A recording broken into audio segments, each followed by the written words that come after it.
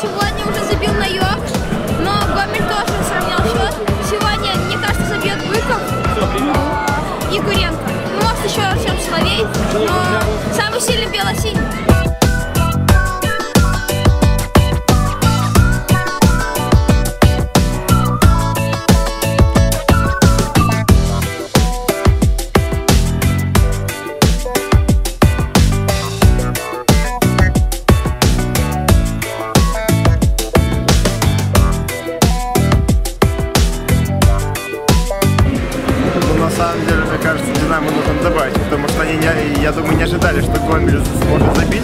Не уверен, что сам Гомель этого ожидал, потому что до этого три матча не забивал, но второй тайм будет